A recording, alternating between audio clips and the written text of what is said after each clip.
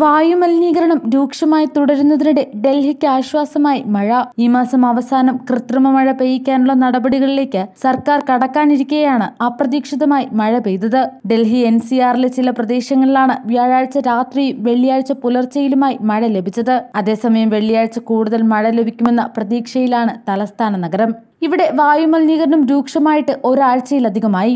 ഇത് തുടർന്നാൽ ജനങ്ങളുടെ ആരോഗ്യത്തെ കൂടുതൽ ബാധിക്കുമെന്ന സാഹചര്യത്തിലാണ് കൃത്രിമ മഴ പെയ്യിച്ച് പ്രശ്നം പരിഹരിക്കാൻ സർക്കാർ നീക്കം നടത്തിയത്.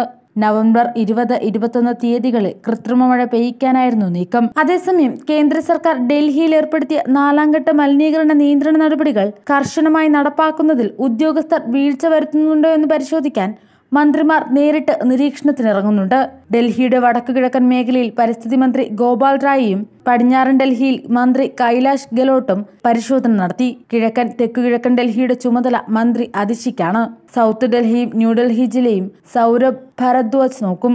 ഇമ്രാൻ ഹുസൈന് സെൻട്രൽ ഡൽഹിയുടെയും ഷാഹിദ്രയുടെയും ചുമതലയാണ്.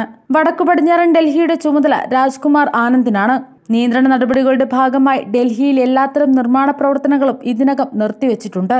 മറ്റു സ്ഥലങ്ങളിൽ നിന്നുള്ള ട്രക്കുകൾക്ക് നഗരത്തിലേക്ക് പ്രവേശനമില്ല. മലിനീകരണം അതിരൂക്ഷമായത് കണക്കിലെടുത്ത് ഡൽഹിയിലെ സ്കൂളുകൾക്ക് പതിനെട്ട് വരെ അവധി പ്രഖ്യാപിച്ചിട്ടുണ്ട്.